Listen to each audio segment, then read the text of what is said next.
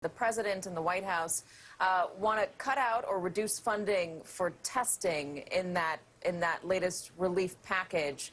Do you support reducing or cutting out funding? Well, the testing, we had $25 billion in testing. About 10 billion of that went out to the states in our previous work on the previous legislation. About $78 million of that came to Arkansas, and it remains unspent because we're using the state uh, CARES Act money to pay for our testing and tracing program in Arkansas. And the uh, money that was in the House bill previously could be spent over 30 months. So I think we need to study very carefully how much more testing money is needed by the states in this next bill. And that's something, Katy, that I feel strongly about generally on this uh, next coronavirus bill.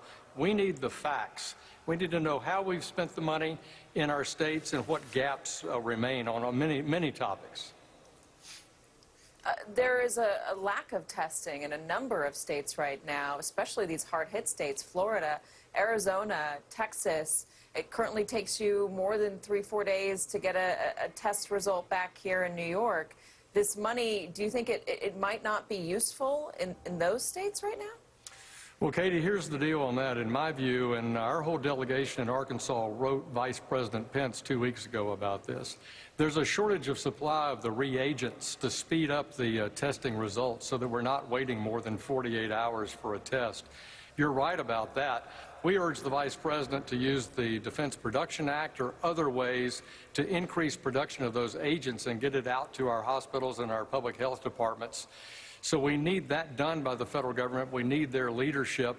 I think that's a slightly bigger picture issue than just the money allocated for testing in the states. Uh, I think it's an issue, both are issues, but I hope we can get this reagent supply issue teed up sooner rather than later.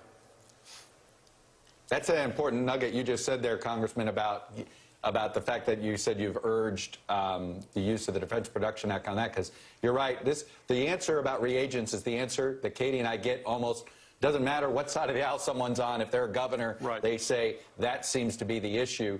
Let me ask you about another part of this bill, the so-called enhanced unemployment benefit.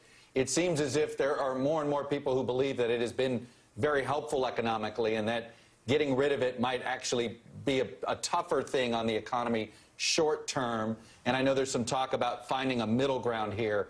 Where are you on this issue?